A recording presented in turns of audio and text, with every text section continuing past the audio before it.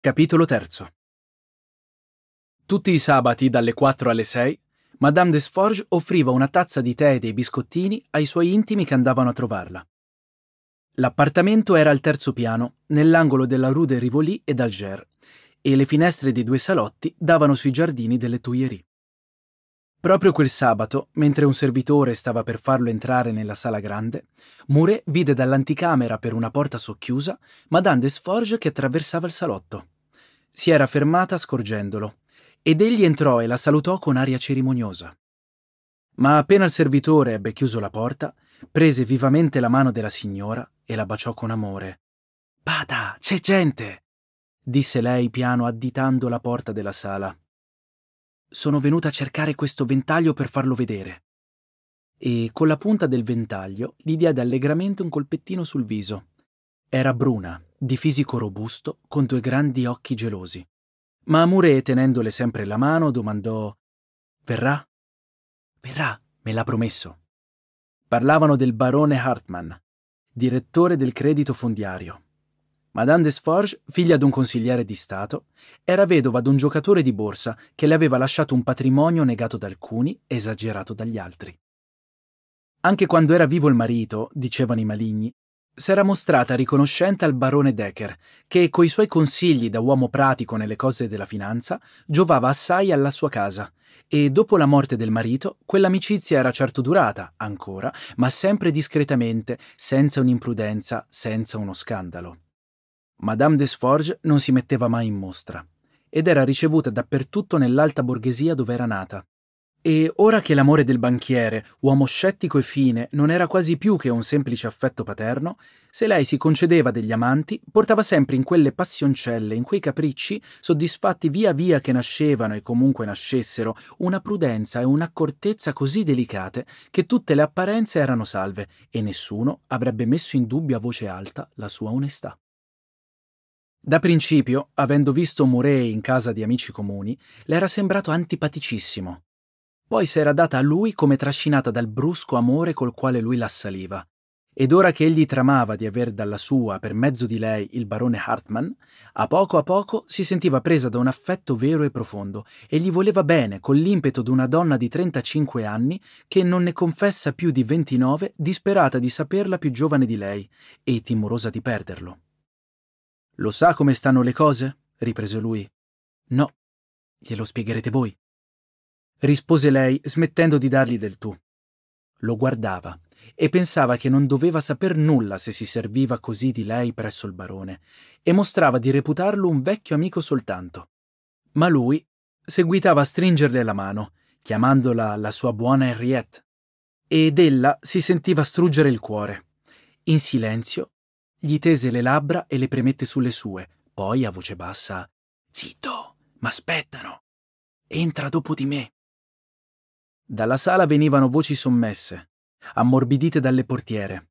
Ella spinse la porta, che lasciò aperta a due battenti, e porse il ventaglio a una delle quattro signore che stavano a sedere in mezzo alla sala.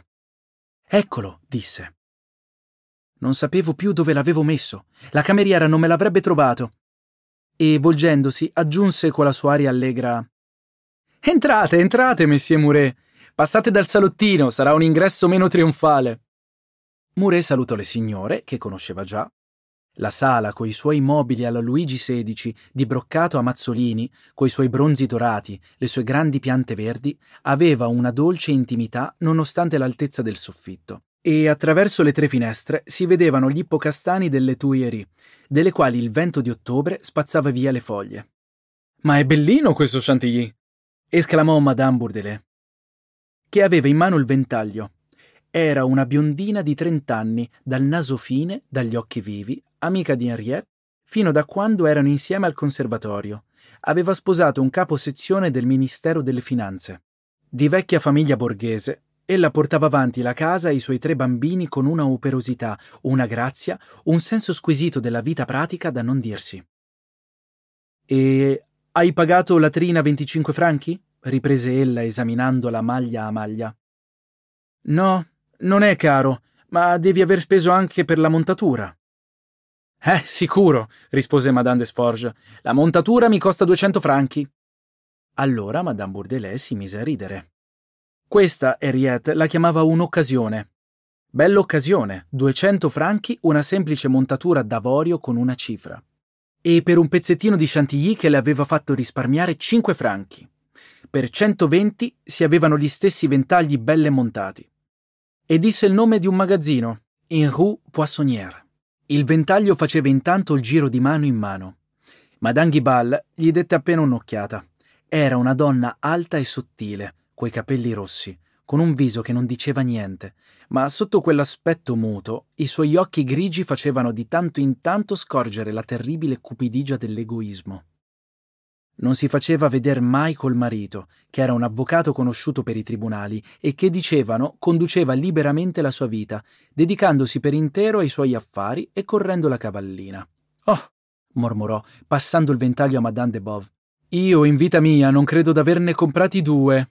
Di ventagli me ne regalano anche troppi. La contessa rispose con sottile malignità. Come dovete essere contenta, cara, d'avere un marito così galante. E chinandosi verso la figlia, una ragazzona di vent'anni e mezzo, Guarda, guarda la cifra, Blanche, che bel lavorino. Deve essere per via della cifra che la montatura è costata tanto cara. Era una bella donna, appena passata la quarantina, con un portamento da dea, con un volto regolare e dei grandi occhi languidi. Suo marito, ispettore generale degli stalloni, l'aveva sposata per la bellezza. Sembrava ora tutta commossa dalla delicatezza di quei ghirigori del ventaglio, quasi presa da un desiderio che le velava lo sguardo. E a un tratto. Che ve ne pare, Monsieur Mouret? È troppo cara per 200 franchi questa montatura? Mouret era rimasto ritto in mezzo alle cinque signore, sorridendo e prendendo viva parte a ciò che dicevano. Si fece dare il ventaglio, l'esaminò e stava per pronunciare il suo parere, quando il servitore aprì la porta annunciando Madame Marty. Entrò una signora magra, brutta, butterata dal vaiolo, vestita con ostentata eleganza. Non si poteva dire che età avesse. I suoi 35 anni parevano 30 o 40, secondo la febbre nervosa che l'animava le pendeva dalla destra una borsa di pelle rossa. Scusate, disse ad Henriette, se con questa borsa. Figuratevi che mentre venivo da voi sono entrata al paradiso. Ho fatto una delle mie solite pazzie e non ho voluto lasciarla nella carrozza per paura che me la rubassero. Ma s'accorse che c'era Mouret e ridendo rispose: Ah, non l'ho detto mica per farvi pubblicità. Non m'ero accorta che eravate qui. Avete al paradiso delle trine che sono una delizia non si occuparono più del ventaglio e Mouret lo posò sopra un tavolino. Le signore ora non ne potevano più dalla curiosità di vedere cosa avesse comprato la Martì. Sapevano tutte come avesse le mani bucate e non potesse resistere ad una tentazione. Onestissima incapace di cedere a un amante, cadeva subito senza resistenza davanti a uno straccio qualsiasi. Era figlia d'un impiegatuccio e rovinava il marito, professore del liceo Bonaparte, che doveva raddoppiare i 6.000 franchi dello stipendio con tante lezioni private per far fronte alle spese sempre crescenti della casa. Ma lei non apriva la borsetta, la teneva sulle ginocchia e parlava con sua figlia Valentine, che era sui 14 anni, una delle sue civetterie più costose, perché la vestiva sempre come lei, con tutte le novità della moda alle quali non sapeva resistere. Avete visto? Quest'anno per le ragazzine si usano vestiti con una trina. Io ho visto una Valenciane graziosa in un modo e finalmente stava per aprire la borsa. Già le signore allungavano il collo quando in quel silenzio si sentì suonare il campanello di casa. È mio marito, balbettò la Martì con turbamento. Deve venire a cercarmi quando esce dal liceo. Richiuse subito la borsa e con un moto istintivo la nascose sotto la poltrona. Tutte le signore fecero una risata. Arrossì allora per la sua furia. Riprese sulle ginocchia la borsa, dicendo che gli uomini non capiscono mai e che di conseguenza non c'era bisogno d'andare a spifferargli ogni cosa. Monsieur de Bove, Monsieur de Vallagnoche, annunziò il servitore. Si meravigliarono tutti. La stessa Madame de Bove non aspettava suo marito, il quale baciò la mano di Madame de Sforge, che aveva conosciuta da ragazza. Era un bell'uomo. Portava baffi e pizzo e aveva quell'aspetto da militare, da gentiluomo che piaceva alle Tuileries. Si mise subito da parte perché il suo compagno, giovanotto d'un pallore aristocratico, potesse anch'egli salutare la padrona di casa. Ma appena la conversazione ricominciò, si alzarono due leggeri gridi. To! Paul! Guarda! Octave! Mouret e Valagnoche si strinsero la mano. Si conoscono dunque? domandò tutta sorpresa Madame Desforges. Si conoscevano sicuro. Erano cresciuti insieme nel collegio di Plassans ed era proprio un caso che non si fossero imbattuti prima da lei. E così, sempre per mano, andarono scherzando nel salottino, mentre il servitore portava il tè, in un servizio cinese sopra un vassoio d'argento, che posò accanto a Madame Desforges, sopra un tavolino di marmo, con un leggero orlo prominente di rame. Le signore si strinsero insieme, discorrendo a voce più alta, tutte attente alle parole che si incrociavano, e Debove, dritto, dietro di loro, si chinava ogni tanto per dir la sua con galanteria di bell'impiegato. La sala, già di per sé tanto allegra, si rallegrava ancor più in quel chiacchiericcio interrotto da risate. Ah, Paul, Paul! ripeteva Mouret s'era messo a sedere accanto a Vallagnoche sopra un canapè e soli in fondo al salotto, che era graziosamente tappezzato di seta a bottoncini d'oro, lontani dalle orecchie delle signore, le quali non vedevano se non per la porta spalancata, si misero a sogghignare guardandosi l'un l'altro e dandosi dei colpetti sulle ginocchia. Tutta la loro giovinezza si risvegliava il vecchio collegio di Plassans, con le sue due classi, le camerate umide, il refettorio dove in capo a un anno si mangiava tanto merluzzo e il camerone dove i cuscini volavano da un letto all'altro appena il prefetto russava. Paul, che apparteneva a una famiglia di parlamentari di bassa nobiltà, impoverita e stizzosa, scriveva molto bene, sempre il primo, preso continuamente ad esempio per gli altri dal professore, che prevedeva per lui il più splendido avvenire, mentre Octave, sempre tra gli ultimi, se ne stava tra le bestie, grasso e contento, dandosi interamente fuori del collegio alla violenza dei piaceri per quanto così dissimili d'indole, erano divenuti inseparabili fino all'esame di licenza che avevano superato l'uno con lode, l'altro a pedate, dopo averci provato due volte. Poi erano stati travolti dalla vita e si ritrovavano dopo dieci anni già vecchi e mutati. Di un po', chiese Mouret, che fai ora di bello? Nulla. Balagnoche anche se contento d'aver trovato l'amico, non mutava la sua aria stanca e delusa, e siccome Mureo, un po' meravigliato, insisteva dicendo Ma insomma, qualche cosa devi fare. Che fai? Nulla, rispose da capo. Octave si mise a ridere. Nulla era troppo poco. A pezzi e bocconi riuscì a sapere la storia di Paul, storia comune a tutti i giovani senza patrimonio che credono essere obbligati per la propria origine a pigliare una professione libera e che si accasciano in una vanitosa mediocrità, abbastanza contenti se non crepano di fame, pur avendo i cassetti zeppi di diplomi. Aveva studiato legge per tradizione di famiglia, dopo era rimasto a carico della madre preoccupata per due figlie da accasare. Finalmente s'era vergognato e, lasciando le tre donne tirare avanti alla meglio con le briciole del patrimonio, s'era adattato a un posticino nel Ministero dell'Interno e vi si teneva rannicchiato come una talpa nella sua buca.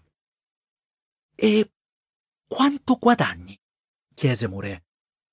Tremila franchi. Dio santo, ah, povero figlio, mi dispiace per te, ma come? Un ragazzo che ci metteva tutti nel sacco. E non ti danno che tremila franchi dopo averti rincretinito per cinque anni. No, no, non è giusto. Si interruppe e, pensando tra sé, io poi feci loro una bella riverenza, eh, sai, eh, che cosa faccio io? Sì, disse Valagnoche. Mi hanno detto che fai il commerciante. Hai quel grande magazzino in Place Gaillon, non è vero? Sicuro. Il merciaio, figlio mio, il merciaio. Mouret aveva alzato la testa e gli diede di nuovo un colpo sul ginocchio, ripetendo col riso d'uno che non si vergogna affatto del mestiere che lo fa d'oro. Merciaio! Proprio merciaio! Te ne rammenti? Io non capivo nulla in quei loro cavilli, per quanto in fondo in fondo non abbia mai creduto d'essere più bestia degli altri. Quando ebbi preso la licenza, tanto per accontentare la famiglia, sarei potuto anch'io diventare benissimo o avvocato o medico come i miei compagni, ma quei mestieri mi fecero paura. Sono in troppi a morir di fame e allora gettai alle la mia pelle d'asino senza rimpianto, eh? E mi buttai a capofitto negli affari. Valagnoche sorrideva un po' impacciato. Alla fine mormorò: Eh, sicuro. La licenza liceale non ti deve essere molto utile per vendere la tela. Basta, rispose allegramente Moré. Basta che non arrivino difficoltà finanziarie e tu lo sai, quando si è fatta la sciocchezza di ficcarsi quei bastoni tra le gambe, non è poi facile correre. Si cammina come tartarughe, mentre gli altri, quelli che sono sciolti, vanno via, come il vento. Poi, accorgendosi che il suo amico pareva turbato, gli prese la mano e seguitò Via, via, non lo dico mica per angustiarti. Ma devi confessare che i tuoi diplomi non t'han dato nulla di quanto desideravi tu. Sai che uno dei miei impiegati, il capo delle sete, quest'anno guadagnerà più di 12.000 franchi. Si intende che è un giovanotto che ha la testa sulle spalle, ma insomma non va più in là dell'ortografia delle prime quattro operazioni. Gli impiegati ordinari da me si beccano 3.000 e 4.000 franchi più di quanto guadagni tu. E la loro istruzione non è costata mica come la tua, e non li hanno mica scaraventati nel mondo, con la promessa che lo avrebbero conquistato, lo so, il denaro solo non basta, sta bene, ma tra i poveri diavoli impolverati di scienza che si trovano ammucchiati fra le professioni libere, senza poter mangiare quando ne han voglia, e i giovani pratici, belli e in arme per la guerra della vita, che conoscono per filo e per segno il loro mestiere, io, in fede mia, senza mai esitare, mi schiero con questi contro quelli. Mi pare che vuoi che ti dica, che capiscano più il tempo in cui sono nati. Diventava eloquente s'era riscaldato e alzava la voce. Henriette, che serviva il tè, s'era voltata. Quando la vide sorridente in fondo alla sala e s'accorse che altre due signore tendevano l'orecchio, fu il primo a ridere delle sue frasi. Insomma, amico mio, ogni merciaio che si mette al banco oggi, 99 su 100, diventa milionario. Balagnoche si adagiava mollemente sul canapè aveva socchiuso gli occhi in un atteggiamento tra l'affaticato e lo sprezzante, nel quale c'era un po' d'ostentazione e un po' dell'esaurimento vero della sua razza. Ah, mormorò, la vita non merita tanta fatica. Non c'è più niente che diverta. E vedendo che Moré lo guardava con aria di profonda meraviglia, pronto a contraddirlo, aggiunse Vivere in un modo o nell'altro in fondo è lo stesso, tanto vale starsene con le mani alla cintola. Allora si mise a spiegare il suo pessimismo. Una volta si era messo in testa di fare il letterato e dell'amicizia dei poeti non gli era rimasta in mente che una disperazione universale. E finiva sempre col concludere che ogni sforzo è inutile, che tutte le ore sono ugualmente vuote e noiose, che il mondo va avanti stupidamente senza scopo.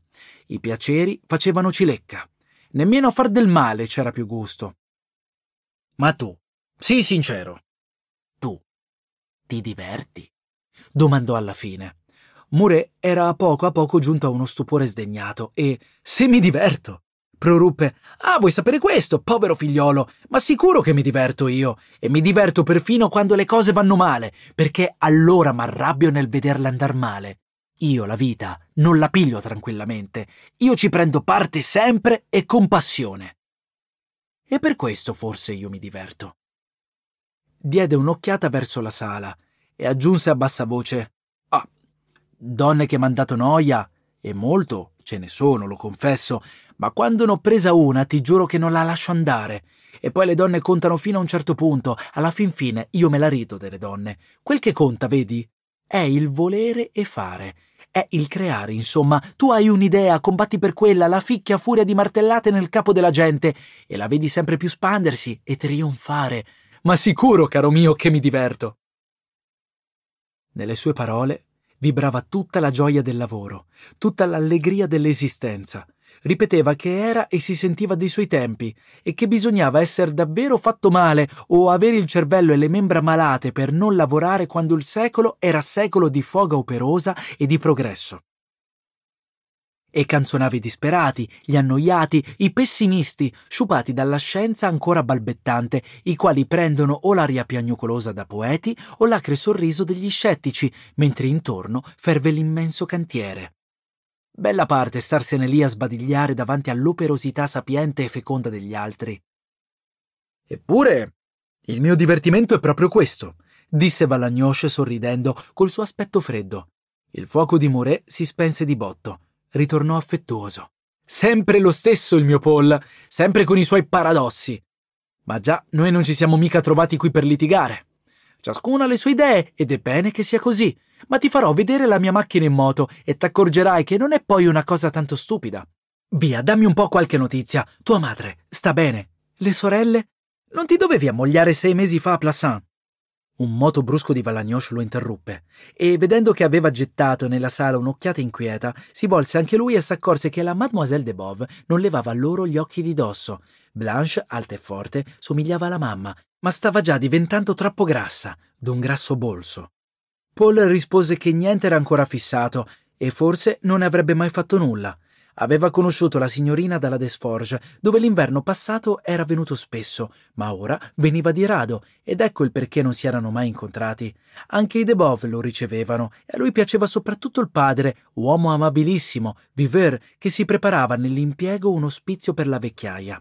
Soldi poco o niente. Madame Debov non aveva portato al marito che la sua bellezza di giunone e la famiglia tirava avanti alla meglio con la rendita di una fattoria, l'unica che fosse loro restata e piena di ipoteche.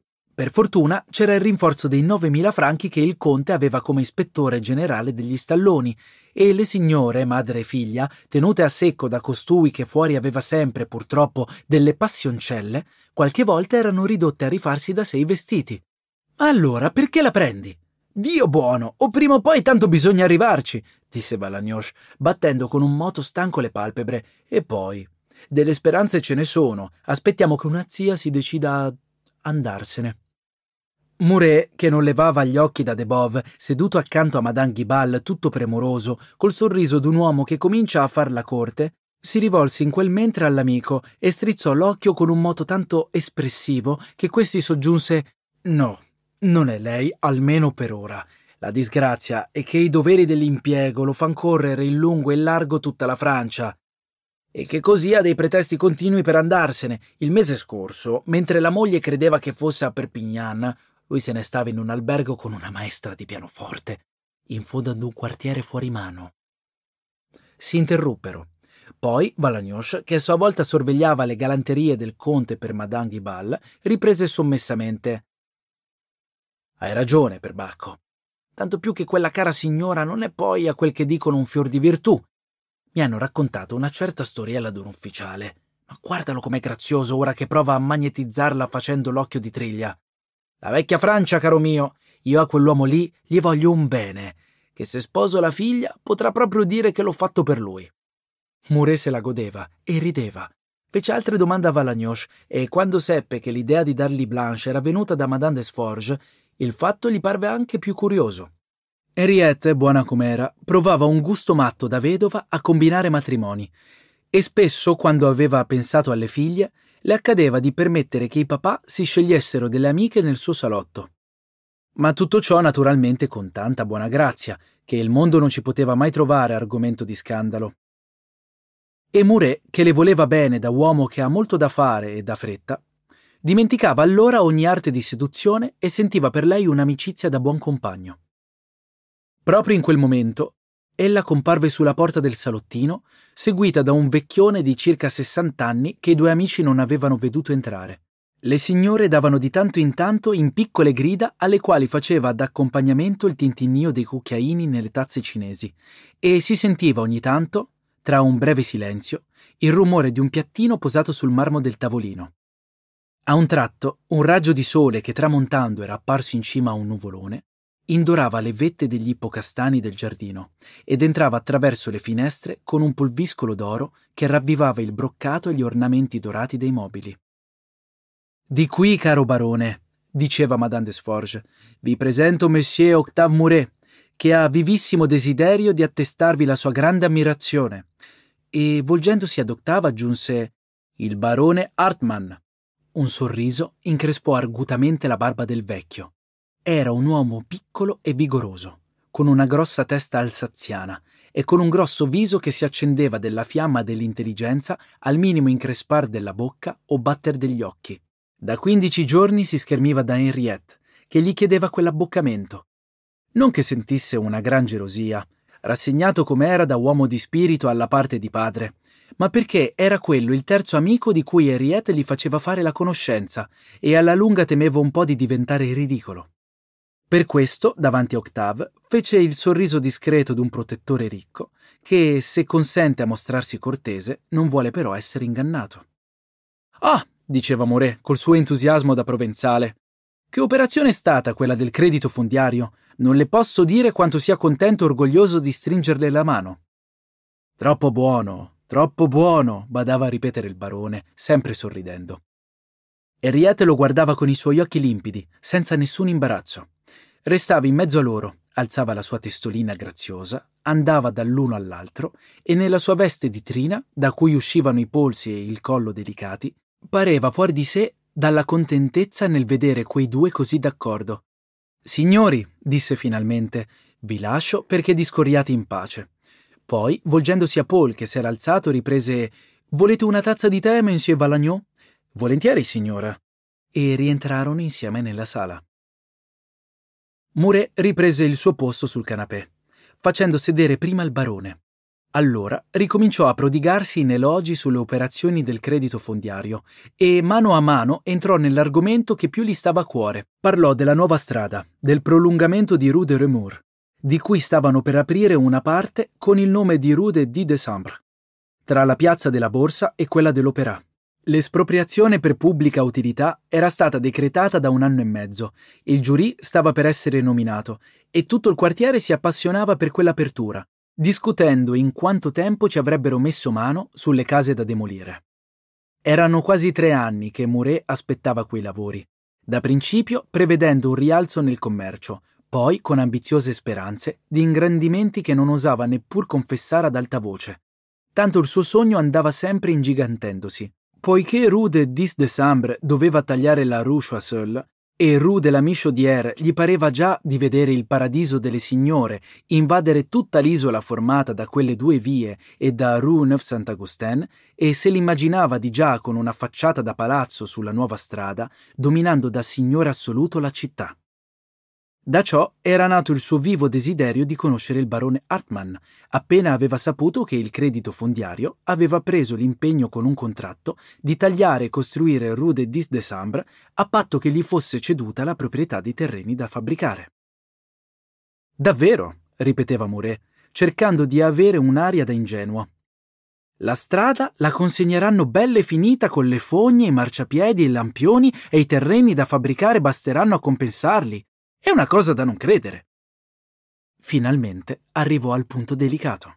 Aveva saputo che il credito fondiario faceva di nascosto comprare le case dell'isola dove era il paradiso delle signore, non soltanto quelle che era necessario demolire, ma anche le altre, e subodorava in ciò il disegno di qualche futuro stabilimento e gli dava noia il pensiero di potere un giorno, nei suoi ingrandimenti, scontrarsi con una potente società che non avrebbe certamente venduto le proprie case. Questa paura l'aveva fatto decidere a cercare un vincolo che lo stringesse al barone, quel vincolo femminile che dura così saldo tra uomini per natura galanti. Avrebbe certamente potuto parlare col barone nello studio di lui e discutere in pace del grosso negozio che aveva in animo di proporgli. Ma si sentiva più forte in casa d'Henriette, perché sapeva quanto il possesso comune di una donna ravvicini e addolcisca. In casa di lei, avvolti nel suo profumo, con lei pronta a convincerli con un sorriso solo, il buon successo gli sembrava sicuro. Non ha comprato, mi scusi, il palazzo Duvillard, quella baracca che mi sta a ridosso? chiese alla fine bruscamente. Il barone Hartmann esitò un istante e poi negò. Ma guardandolo in faccia, Mouret si mise a ridere. E da quel momento fece la parte d'un buon giovanotto che tratta gli affari semplicemente, col cuore in mano. Guardi, signor barone, dato che ho avuto l'onore insperato di conoscerla, bisogna che mi confessi. Oh, non le domando i suoi segreti, voglio soltanto dirle i miei, persuaso di non poterli porre in mani più sagge. E poi ho bisogno dei suoi consigli. Da molto tempo volevo venirla a trovare e non osavo. Si confessò davvero. Raccontò il principio della sua fortuna non nascose nemmeno il pericolo che correva ora in mezzo al trionfo. Disse tutto. Gli ingrandimenti fatti l'uno dopo l'altro, i guadagni sempre rinvestiti in quel negozio, le somme dategli dagli impiegati, il magazzino che rischiava di fallire ad ogni nuova apertura della vendita, perché tutto il capitale era ogni volta giocato su una carta sola. Eppure non chiedeva denaro. Lui, nella sua clientela, aveva una fede da fanatico. La sua ambizione era più alta. Proponeva al barone un'associazione in cui il credito fondiario metterebbe il palazzo sterminato che egli sognava, lui, il suo ingegno e il commercio già avviato.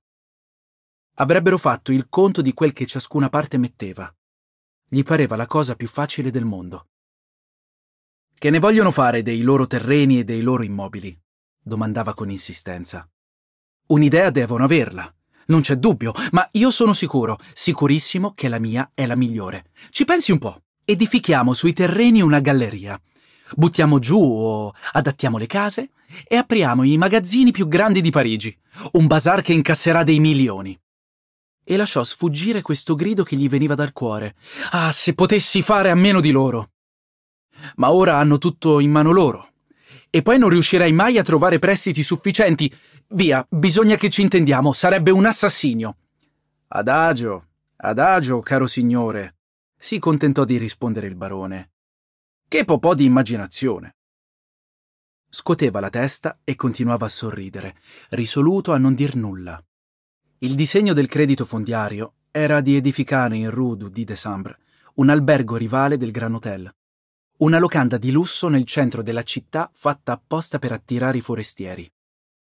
D'altra parte, l'albergo non doveva occupare che i terreni di fianco e il barone avrebbe avuto sempre le mani libere per trattare con Muret, quanto al resto delle case che erano sempre una bella superficie.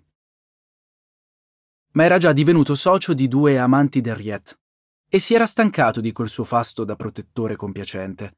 Inoltre, per quanto intraprendente egli fosse, e disposto ad aprire la sua borsa a tutti i giovani intelligenti e coraggiosi, la proposta di Muret, così audace ed enorme, lo meravigliava più di quel che gli piacesse. Quel magazzino smisurato non era un'impresa utopistica e imprudente. A forza di allargare a quel modo il commercio delle novità, non si andava forse incontro a una rovina sicura. Non ci credeva e non ne voleva sapere. L'idea, non c'è dubbio, può allettare, ma il male sta qui che è un'idea da poeta, dove li troverete i clienti per riempire una cattedrale di questa grandezza. Muret lo guardò un po' senza aprire bocca, quasi stupito dal rifiuto. Com'era possibile che un uomo di quell'acume, che fiutava il denaro nascosto a qualsiasi profondità, non capisse la cosa? E a un tratto ebbe un gesto d'alta eloquenza. Tese il braccio e additò le signore nella sala esclamando I clienti? Eccoli là, i clienti. Il sole tramontava. Il pulviscolo d'oro acceso non era più che un chiarore biondo, morente tra la seta delle tende e sulle stoffe dei mobili. Nell'avvicinarsi del crepuscolo, una dolce intimità inondava la sala d'un molle tepore. Monsieur de Bove e Paul de Vallagnoche chiacchieravano nel vano d'una finestra, con lo sguardo vagante nell'orizzonte lontano. Le signore s'erano accostate l'una all'altra e facevano nel mezzo uno stretto cerchio di sottane da dove salivano risa. Parole bisbigliate.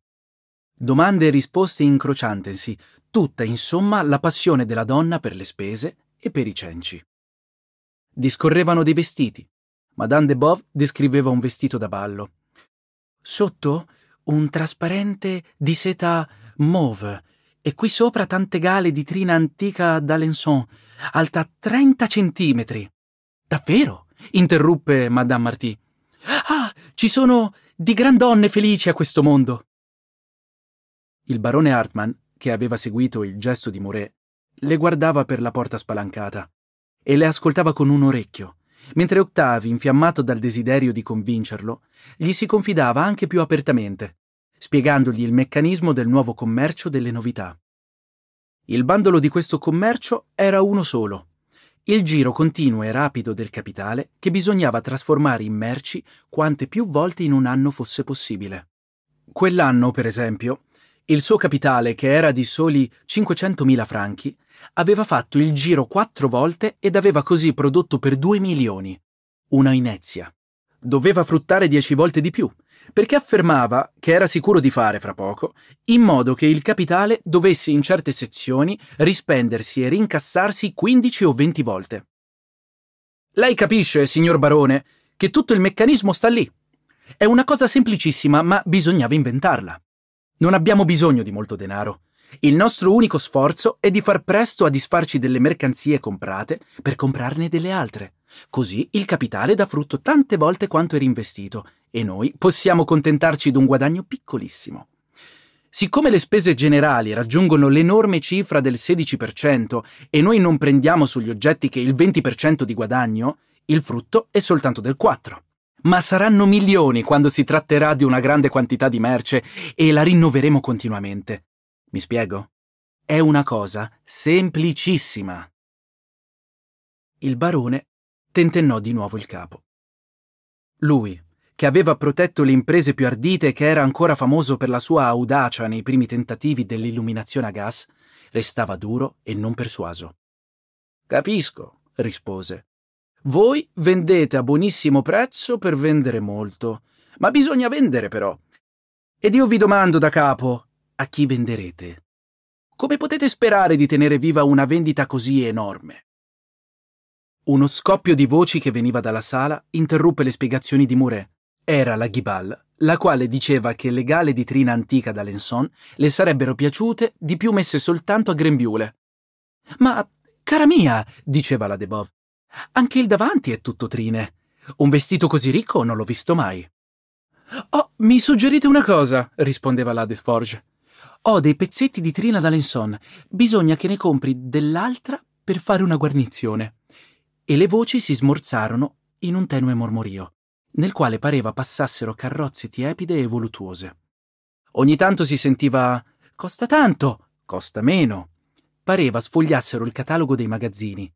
I desideri si aguzzavano. Le signore compravano trine a piene mani. Eh! disse finalmente More, quando poté parlare. Pur di sapere vendere, si vende quel che si vuole. La nostra vittoria sta lì. Allora, col suo brio da meridionale, con frasi calde che suscitavano l'immagine delle cose, mostrò il nuovo commercio nella nevrosi del lavoro. Disse dapprima della potenza dell'ammucchiamento, fatta dieci volte maggiore. Tutte le mercanzie accumulate in un punto solo, sorreggendosi a vicenda e a vicenda raccomandandosi. Non un momento di riposo. La roba di stagione sempre pronta, e di banco in banco la compratrice era presa.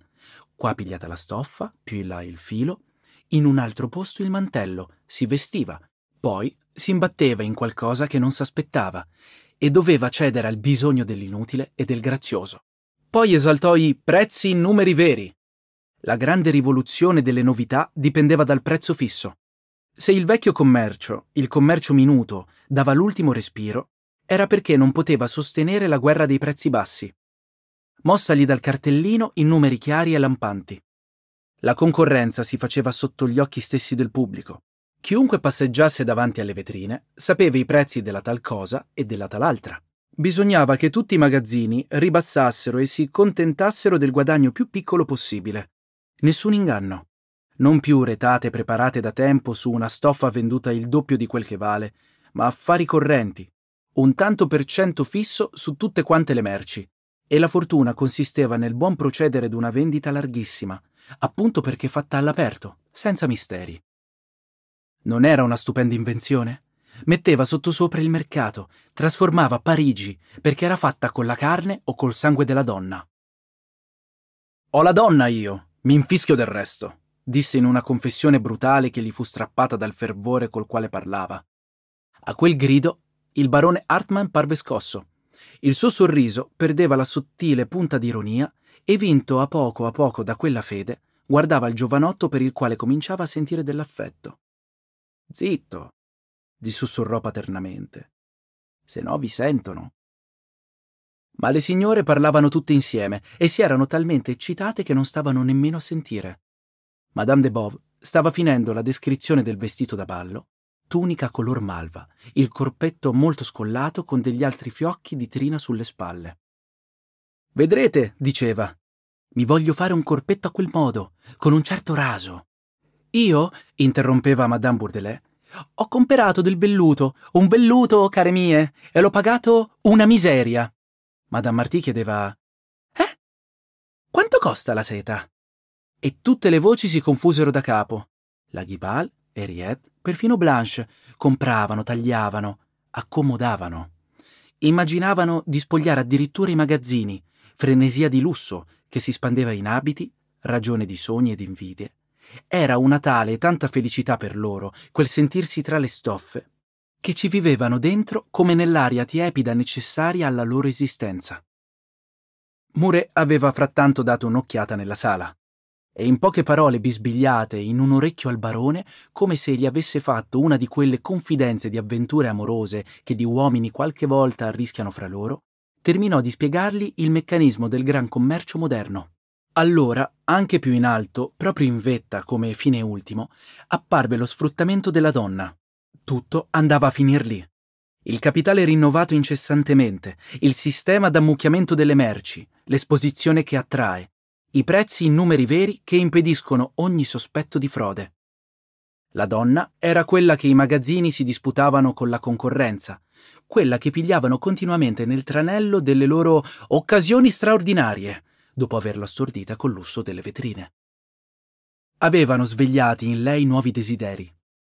Erano una tentazione immensa alla quale ella soccombeva fatalmente, cedendo da principio alle compere necessarie, poi vinta dalla civetteria e poi divorata. Facendo dieci volte maggiore la vendita, democratizzando il lusso, divenivano un terribile incitamento alle spese, buttavano all'aria le famiglie, eccitavano la pazzia della moda sempre più cara. E se la donna nei magazzini era regina, adulata e accarezzata nelle sue debolezze, circondata di cortesie, era una regina di cui i sudditi fanno mercato e che paga con una goccia di sangue ciascuno dei suoi capricci. Dalla grazia della sua galanteria, Muré lasciava così trasparire la brutalità d'un ebreo che vende la donna a un tanto alla libra e le innalzava un tempio, la faceva incensare da una legione di commessi, inventava il rito d'un culto nuovo, ma non pensava che a lei, cercando senza mai requie seduzioni più forti, e dopo, quando le aveva ben bene vuotate le tasche e sconquassata la fibra, era pieno del segreto disprezzo che un uomo ha per un amante che ha fatto la sciocchezza di concedersi. Abbiate dalla vostra le donne, disse a voce bassa al barone, ridendo audacemente, e venderete il mondo. Il barone aveva capito. Gli erano bastate poche frasi per indovinare il resto. E un commercio fatto con tanta galanteria lo infiammava e ravvivava in lui i suoi begli anni di viveur. Strizzava gli occhi accennando di aver, come si dice, mangiato la foglia e guardava ammirato l'inventore di quella macchina che si ingoiava le donne. Era una bella trovata davvero. Ma anch'egli, come Bourdoncle, ebbe a dire per la sua vecchia esperienza. Badate, che si vendicheranno. Ma Mouret alzò le spalle con un moto di supremo disprezzo. Gli appartenevano tutte. Le donne erano roba sua e lui non era di nessuna. Non appena avesse spremuto da loro la sua ricchezza e i suoi piaceri, le avrebbe gettate nel mucchio a coloro che avrebbero potuto spremerne ancora tanto da vivere. Era un disprezzo freddo e ragionato da meridionale e da speculatore. Dunque, mio caro signore, domandò per venire a una conclusione. Volete accordarvi con me? L'affare dei terreni vi sembra fattibile? Ma il barone, per quanto fosse quasi convinto, non volle prendere impegni. In fondo alla simpatia che a mano a mano si impossessava di lui gli restava un dubbio, e stava per rispondere in un modo evasivo, quando una insistente chiamata delle signore lo levò d'impaccio. Tra leggere risate si sentiva ripetere Monsieur Moret! Monsieur Moret! E siccome lui, indispettito di essere così interrotto, fingeva di non sentire, Madame de Bove, che s'era alzata in quel momento, venne fin sulla porta del salotto. Abbiamo bisogno di voi, Monsieur Mouret! Bella cortesia nascondersi così per discorrere di affari. Allora dovette decidersi. Fece finta di nulla, anzi si mostrò lietissimo di essere stato chiamato, contegno di cui il barone fu stupefatto. Tutti e due si alzarono e andarono nella sala. Ai vostri comandi, signore mie, disse egli entrando sorridente nella sala. Fu accolto con un gran baccano di trionfo. Dovette farsi più avanti, le signore gli fecero posto tra loro. Il sole era tramontato dietro gli alberi del giardino. Cadeva il giorno e un'ombra leggera a poco a poco invadeva la stanza. Era l'ora del crepuscolo che dispone gli animi a malinconia. Era quel minuto di discreta voluttà che hanno gli appartamenti parigini tra la luce della via, che vien meno, e i lumi che i servitori accendono in credenza. De Bove e Valagnoche, sempre ritti nel vano d'una finestra, Monsieur Marty, che era entrato zitto zitto in quel momento, mostrava il suo profilo magro, un paltoncino misero misero ma pulito, un viso fatto livido dal tanto insegnare, e sconvolto, ora, anche più da quei discorsi che le signore facevano sui vestiti. Dunque, si apre proprio lunedì questa vendita? domandava appunto in quel momento la Martì. Sicuro, signora, rispose Mouret con quella voce flautata e da attore che aveva quando parlava alle donne. Henriette ci mise bocca. Ci saremo tutte.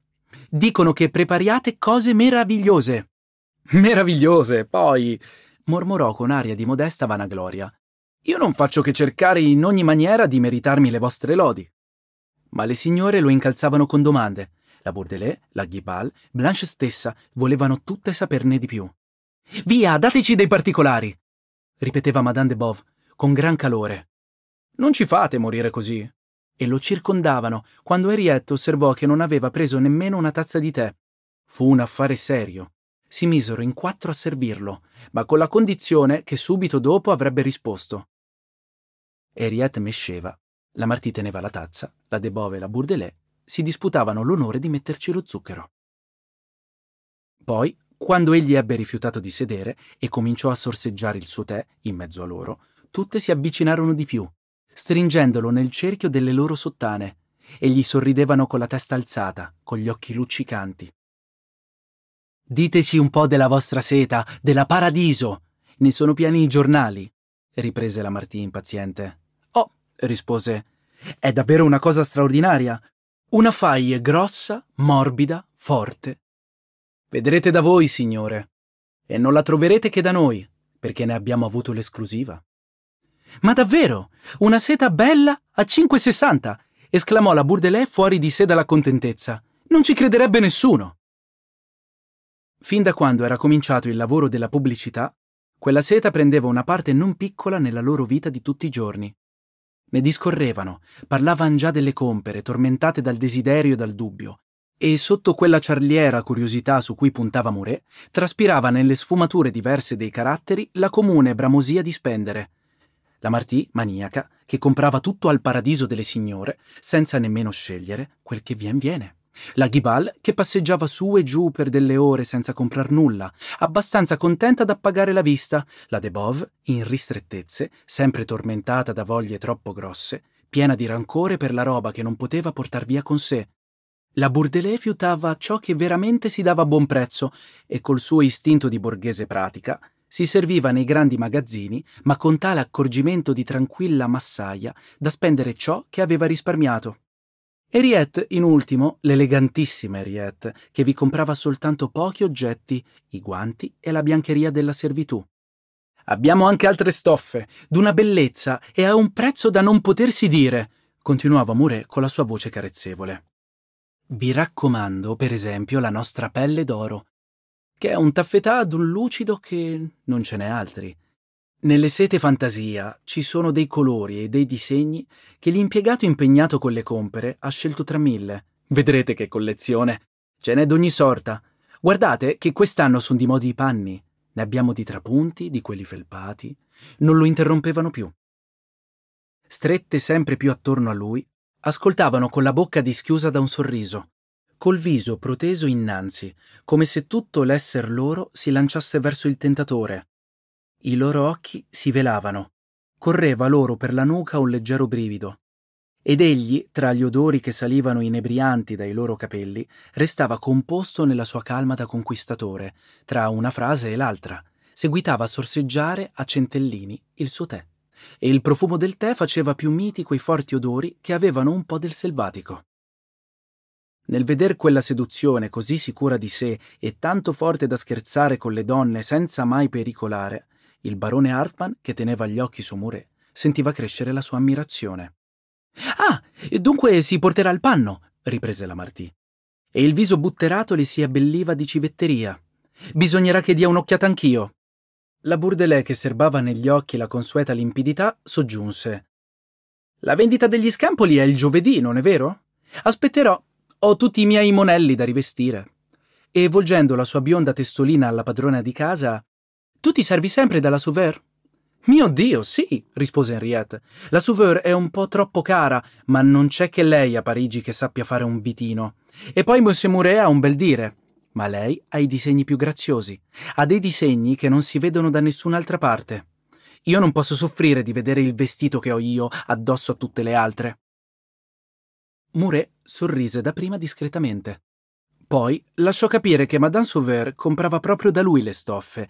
Certo, Prendeva anche direttamente dai fabbricanti dei disegni di cui acquistava la proprietà, ma per tutte le sete nere, per dirne una, stava attenta alle occasioni del paradiso delle signore, pigliava l'ingrosso e rivendeva poi raddoppiando e triplicando i prezzi. Io sono sicuro che manderà gente a portarci via tutta la paradiso. Perché volete che vada a pagare la seta alla fabbrica più cara di quel che gliela vendiamo noi? Noi, parola d'onore, la vendiamo a scapito. Fu il colpo di grazia. L'idea di aver le merci a scapito accendeva in tutte quelle signore quanto c'è di avidità nelle donne, che son sempre contente quando credono di rubare qualcosa al negoziante. Mouret sapeva che erano incapaci di resistere al prezzo tanto basso. Ma se la roba la diamo via per nulla! Esclamava egli allegramente, prendendo sul tavolino che era dietro il ventaglio di Madame Desforges. Guardate, questo ventaglio qui, io non so quel che costi. 25 franchi la trina e 200 la montatura, disse Henriette. La trina non è cara, eppure noi l'abbiamo per 18 franchi, tale e quale, ma la montatura, cara signora, è proprio un furto, un furto schifoso. Mi incarico io di farne uno identico per 90 franchi. Lo dicevo io! esclamò la Bourdelais. 90 franchi, sussurrò la Debov. Bisogna proprio non avere un soldo in tasca per non comprare un ventaglio come questo. Aveva preso il ventaglio e di nuovo lo esaminava con la figlia. Sul suo viso regolare, nei suoi grandi occhi insonnoliti, saliva la voglia repressa e disperata del capriccio che non le era possibile levarsi. Il ventaglio fece un'altra volta il giro delle signore, in mezzo a grandi esclamazioni e osservazioni. Debove e Valagnoche erano in quel momento venuti via dalla finestra. Il primo s'era posto da capo dietro alla ghibal e con lo sguardo le frugava il busto, pur sempre conservando la sua aria da uomo che in società ci sa stare. L'altro si inchinava verso Blanche tentando di trovare un complimento. È però un po' troppo seria, non è vero, signorina? Quella montatura bianca con la riga di trina nera. Oh, io, rispose lei gravemente, senza che un po' di rosso le colorasse il viso pienotto. Ne ho visto uno di madreperla con le penne bianche. Una cosa proprio virginale. Debov, che s'era certamente accorto delle occhiate disperate che sua moglie dava al ventaglio, mise alfine bocca nella conversazione. Si rompono subito quei gingilli lì. A chi lo dite? aggiunse con una smorfia di bella dai capelli rossi la Ghibal facendo la svogliata. Mi sono stancata a forza di far accomodare i miei. Da qualche minuto la Martì, eccitata da quei discorsi, volgeva e rivolgeva febbribilmente la sua borsetta di cuoio sulle ginocchia. Non aveva potuto ancora far ammirare le sue compere e moriva dalla voglia e da un bisogno quasi sensuale di metterle in mostra. E a un tratto si scordò del marito, aprì la borsetta e ne tirò fuori della trina sottile, avvolta intorno a un pezzetto di cartone. Guardate un po' questa trina per la bambina. È alta tre centimetri, ma è proprio carina, non vi pare? Un franco e novanta. La trina passò da una mano all'altra. Tutte le signore davano in esclamazioni di meraviglia. Mouret giurò che quelle guarnizioni le vendevano a prezzo di fabbrica. La Martì intanto aveva richiuso la borsa come per nascondere delle cose che non si possono far vedere. Ma a quelle lodi non poté resistere e tirò fuori un fazzoletto. C'era anche questo fazzoletto, un'applicazione di Bruxelles, 20 franchi, proprio per nulla. E da quel momento la borsetta divenne inesauribile. Diveniva rossa dal piacere. E un pudore quasi da donna che si spogli la faceva graziosa insieme e imbarazzata ogni volta che tirava fuori una nuova cosa. Prima una sciarpa di trina spagnola che costava 30 franchi. Lei non la voleva da principio, ma il commesso le aveva giurato e spergiurato che era l'ultima e che il prezzo doveva crescere. Poi, dopo veniva un velo di chantilly. Un po' caro, a dir la verità, 50 franchi. Se non lo portava lei, qualcosa per la figlia ne avrebbe fatto. Dio mio, son tanto carine le trine, badava a ripetere col suo sorriso nervoso. Io, quando son lì dentro, comprerei tutto il magazzino. E questo qui? le domandò la Debove esaminando uno scampolo di merletto in rilievo. Questo qui? rispose. È una bellezza. 26 metri. Un franco il metro. Capite? Ma che ne volete fare? domandò la Bourdelais stupita. Non lo so mica. Ma era tanto grazioso il disegno. In quel momento, alzando gli occhi, si vide di faccia il marito spaventato. Era diventato anche più livido di prima. Tutta la sua persona esprimeva l'angoscia rassegnata d'un pover'uomo che assiste allo scialacquo dei suoi soldi guadagnati con tanta fatica. Ogni nuovo pezzettino di trina era per lui un disastro. Erano amare giornate di insegnamento inghiottite d'un colpo. Erano le sue corse nel fango della città da una lezione all'altra, divorate in un tratto, lo sforzo continuo della sua vita che lo conduceva a segrete angustie, all'inferno d'una casa che sta su per scommessa. Vedendo quello sguardo sempre più atterrito, ella volle ripigliare il fazzoletto, la trina, il velo e la sciarpa e gettava qua e là mani febbrili, ripetendo con un sorriso forzato Mi farete sgridare da mio marito, ti giuro, amico mio, che ho avuto giudizio. C'era uno sciallino da 500 franchi, una meraviglia. Perché non l'avete comprato? disse tranquillamente la Ghibal. Monsieur Marty è il più gentile degli uomini. Il professore dovette piegare il capo, dicendo che sua moglie era padrona, padronissima di comprare quello che le piaceva. Ma ripensando al pericolo corso, un brivido freddo gli correva la schiena. E siccome Mouret, proprio in quel momento, affermava che i nuovi magazzini aumentavano le comodità delle famiglie della media borghesia, gli lanciò un'occhiata terribile. Il lampo d'odio d'un timido che non osa strangolare la gente. Le signore, d'altra parte, non avevano ancora posato le trine e se ne inebriavano. I rotoli si sgomitolavano, andavano e venivano dall'una all'altra, ravvicinandole ancor più e quasi stringendole insieme con sottili legami. Sulle loro ginocchia stavano le trine mirabili per la finezza del tessuto, e le mani loro, cedendo a quella carezza, vi si indugiavano e circondavano anche più strettamente Mouret, tempestandolo di nuove domande. Il buio della sera si inoltrava. Ed egli doveva ogni tanto chinar la testa, sfiorar con la barba alle loro capigliature per esaminare una trina, indicare un disegno. Ma in quella molle voluttà del crepuscolo, in mezzo a quel profumo che saliva caldo dalle loro spalle, egli era sempre signore di sé e di loro, sotto quell'aria d'ammirazione che sapeva così bene fingere. Pareva anch'egli una donna, e le donne si sentivano vinte e prese da quel senso delicato che egli aveva dell'intimo loro e, sedotte, si abbandonavano. Certo di averle alla sua portata, Mouret spadroneggiava brutalmente fra loro, come fosse re dispotico degli stracci delle signore. Oh, Messie Mouret! Messie Mouret! balbettavano sommessamente le voci in fondo alle tenebre della sala. L'ultimo chiarore del cielo si estingueva negli ornamenti dei mobili. Soltanto le trine avevano ancora quasi un riflesso di neve sulle ginocchia delle signore che in un gruppo confuso dove Mouret era al centro parevano altrettante devote inginocchiate intorno a lui. Un po' di luce splendeva ancora sul bricco, una luce corta e viva da lume da notte, ardente in un'alcova fatta tiepida dai profumi del tè. Ma il servitore entrò con due lumi e l'incantesimo fu rotto. La sala apparve lucente e gaia. La Martì riponeva le trine in fondo alla borsa. La Debov mangiava un biscottino ed Henriette, che s'era alzata, discorreva a voce bassa col barone nel vano d'una finestra. È simpatico, disse il barone. Non è vero? le scappò detto in un grido involontario di donna innamorata. Egli sorrise e la guardò con indulgenza paterna.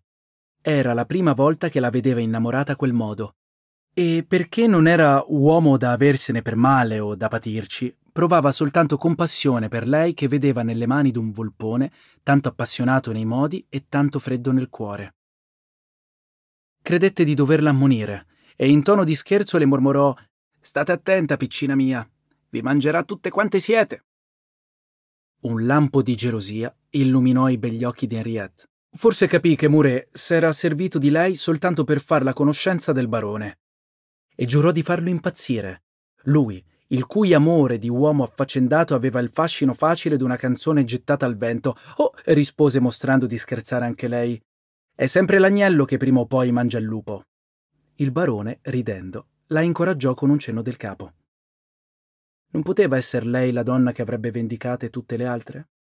Quando Mouret, dopo aver nuovamente espresso a Valagnoche il desiderio di mostrargli la sua macchina in moto, si fece avanti per congedarsi, il barone lo fermò nel vano della finestra davanti al giardino già nero per le tenebre della notte. Cedeva finalmente alla tentazione. La fede gli era venuta nel vederlo in mezzo a quelle signore. Studierò l'affare, disse. Se l'apertura delle vendite di lunedì è come voi dite, la cosa è bella e fatta. Si strinsero la mano. E Mure, tutto contento, se ne andò, perché non gli riusciva di cenare in pace se prima non aveva dato un'occhiata all'incasso del paradiso delle signore. Capitolo IV